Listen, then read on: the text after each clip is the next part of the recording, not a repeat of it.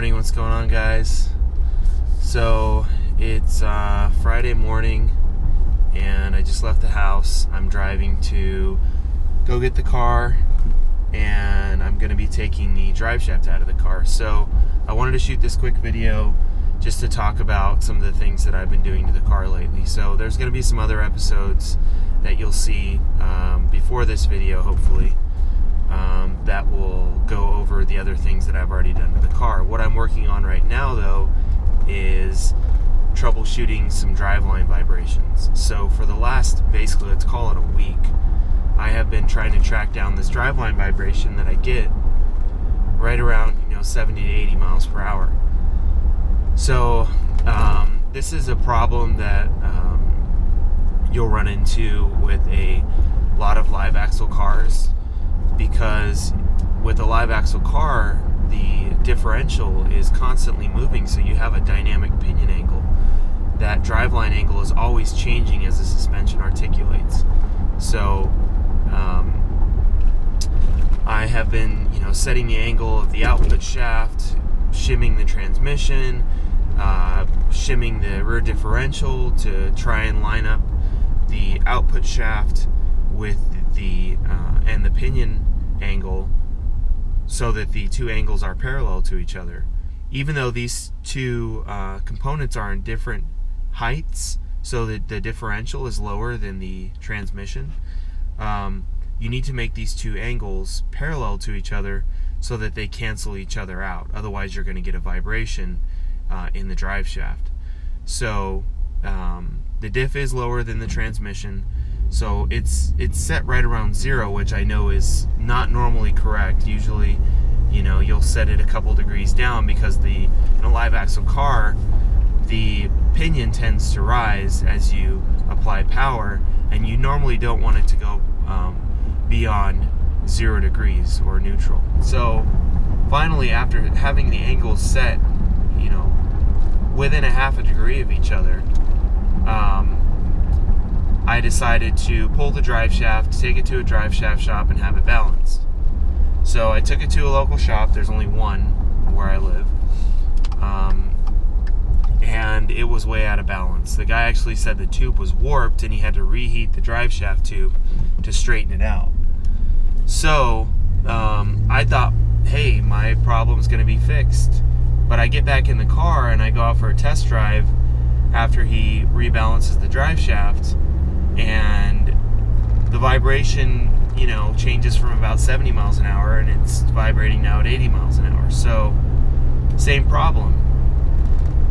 So what happens is, you know, I do some more troubleshooting, thinking maybe it's, you know, driveline angles are still off, pinion angle, the, you know, the output shaft angle, and it's set perfectly, and I'm at a loss as to why so I actually ended up calling Currie Enterprises, which is, are the people who made you know the rear differential, and talking to them about driveline angles after I've already been doing my own research for a couple of weeks.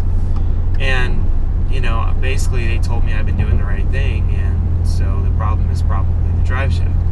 So I call the drive shaft shop back, the one that supposedly balanced my drive shaft, and I talked to the tech who did it, and what he tells me is well, your drive shaft was basically so bad, you know, like I said before, I had to heat the tube to try and straighten it, but what I would recommend is I would still recommend you completely replace the drive shaft. And I'm going, well, why didn't you just tell me that when I gave you the drive shaft the first time instead of wasting my time and money trying to fix one that was unfixable? So it's a drive shaft shop that normally does trucks. Trucks don't drive that fast. I'm talking big trucks, like up to semi, like semi trucks, big rigs.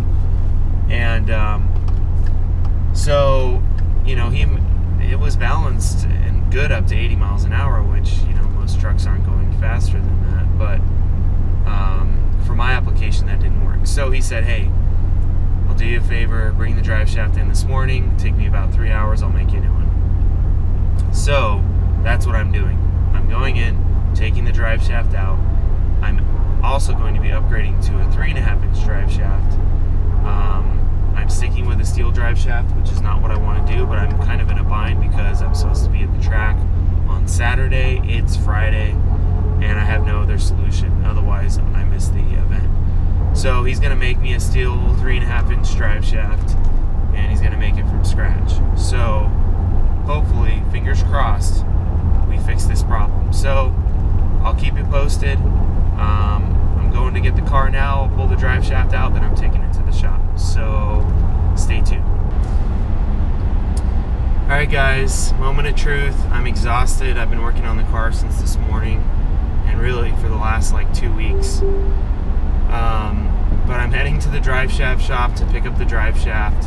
I'm a little bit nervous because he called me about an hour ago. Turn left onto Drive. And said he wasn't sure if uh, he had another slip yoke because mine was slightly worn. So if he doesn't have another one, he's just going to put the old one on, which if it's worn, that's not good because I, you know, I don't want there to be any possibility. I don't want to leave any of the old crap on the car that was vibrating. So if the slip yoke's worn out, I want a new one on there. So I'm about to pull up to the drive shaft shop and pick up the drive shaft, hopefully it is good. I upgraded from a two and a half up to a three and a half inch drive shaft. So we'll see what happens.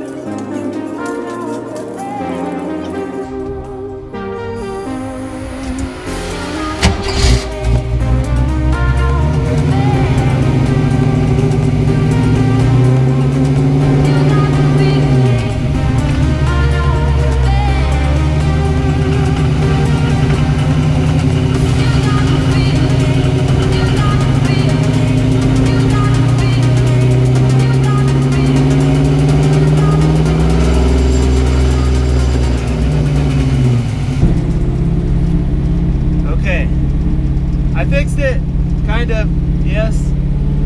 No more vibration.